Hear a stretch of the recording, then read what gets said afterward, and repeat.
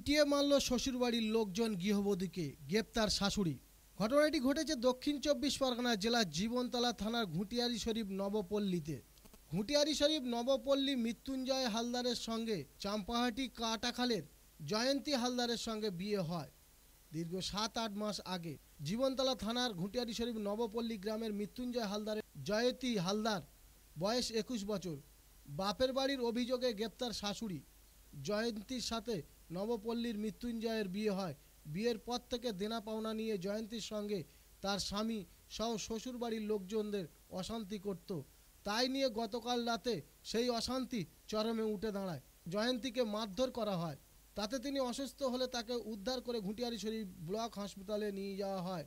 সেখানে তাকে চিকিৎসকরা মৃত বলে ঘোষণা করে, দেহটি ময়নাতদন্তের জন্য ঘুঁটিয়ারি শরীফ ফাঁড়ির পুলিশ নিয়ে আসেন।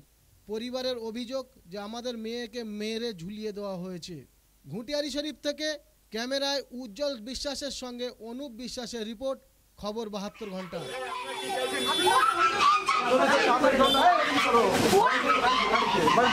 আপনার নামে যে অভিযোগটা উঠছে, এটা কি অভিযোগটা সত্যি? হ্যাঁ? আপনি কি আপনার ছেলে কোনো যুক্ত আছেন?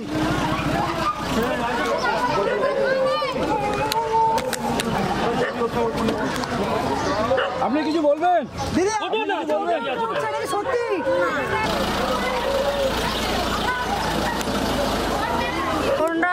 মানে এমনভাবে কাউ কাউ করে হাতে পায়ে ধরে ভিক্ষে চেয়েছিল কাপড়টা কিনে রেখেছে আমার মেয়েকে পরিয়ে নিয়ে আসবে। তাও আমার মেয়েকে আমরা সাজিয়ে দিয়েছি কোনোটা বাকি রাখিনি।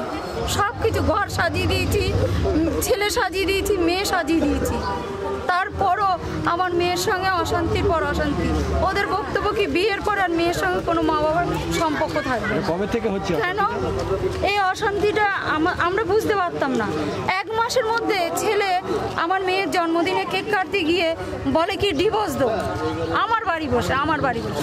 ছেলে তাও আমরা মানিয়ে জন্য আমার শাশুড়ি মোটামুটি দিয়ে গেছে বলে টলে আচ্ছা তারপরে আবার ইদানিং করেও আমার মেয়ে স্বীকার করেছে যে ওরা যখন আমার উপরে অত্যাচার করে হ্যাঁ মা ছেলে তো ধরে ধরে যে শ্বশুর নেওয়া বাবা ছিল সেই শ্বশুর পর্যন্ত চেপে ধরে তিনজনে মিলে। এরকম ভাবে তিনজন মিলে অত্যাচার করতো চালাতো হ্যাঁ হ্যাঁ। তো টাকার চাপ দিত বা কোনো কিছু চাপ দিত? জমির ভাগ চাই। যেখানে আমার স্বামীর ভাগ হয়নি শ্বশুর জীবিত সেইখানে এখনই কি সেই আমার মেয়ে ভাগ পেতে পারে? আপনার কি মনে হয় যে ওরাই মেরেছে আপনার মেয়ে? হ্যাঁ ওরাই মেরে দিয়ে পালিয়ে আমাকে কালকের দেড়টার সময় ফোন করছে। পরশু দিনকের আমার ছেলে দু সপ্তাহ আগে আমি এসেছিলাম দেখতে। মা কি মেয়েকে দেখতে আসতে পারে না? হ্যাঁ? জামাই জামাই আমাকে ফোন করে কি বলল? আমি যখন দু সপ্তাহ আগে দেখতে এসেছি তার জন্য সারা রাত আমার মেয়ের সঙ্গে অত- অত্যাচার করে অশান্তি করে মারধর করে। পরের দিন দুপুরবেলা আমাকে ফোন করে জামাই বলে চব্বিশ ঘণ্টা সময় দিচ্ছি। চব্বিশ ঘণ্টার মধ্যে আমার জমির কাগজপত্র হ্যাঁ আর সব আপনাদের সবাইকে আমার বাড়ি আসা চাই। বিনা ফোনে আমার বাড়ি আসবেন কেন? আপনাদের সঙ্গে সম্পর্ক নেই? না তখন আমরা কিছু করিনি। ঠিক আছে? আজও পর্যন্ত আমরা এসব করিনি যে শিল আমার শাশুড়ি বলতো শিলনোড়া থাকলে ঠোকাঠুকি হয় স্বামী স্ত্রীর অশান্তি হচ্ছে আবার মিলে যাবে। সেকালের মানুষ। কত বছর বিয়ে হয়েছে এই ছয় জুলাই ছ মাস হলো। কি চিন্তা ভাবনা করছেন? থানায় ডায়েরি করবেন? হ্যাঁ অবশ্যই আমরা শাস্তি চাই। শাস্তি চাই। আমার যেরকম আমার মেয়েটা চলে গেছে আমি যেরকম ওরা মেরে গলায় দড়ি দিয়ে ঝুলিয়ে রেখে গেছে সেরকমভাবে আমিও চাই ওই ছেলেরও ফাঁসি হোক। এটাই আমার অনুরোধ। আপনার নামটা? আমার নাম বনিতা পাল। কোথায় থাকেন? আমার বাড়ি চম্পাহাটি।